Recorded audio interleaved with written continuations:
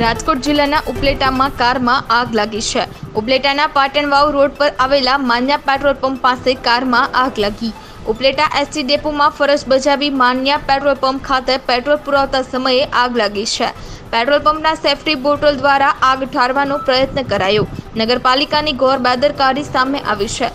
ઉપલેટાના બંને ફાયર ફાઇટરો એકસાથે રિપેરિંગમાં હોવાનું જણાવી વાહન ગેરેજ વિભાગ રોડની બંને તરફ લોકોના ટોળા ઉમટ્યા છે. પોલીસને જાણ થતાં ઘટનાસ્થળે પહોંચી વ્યવસ્થા જાળવી છે.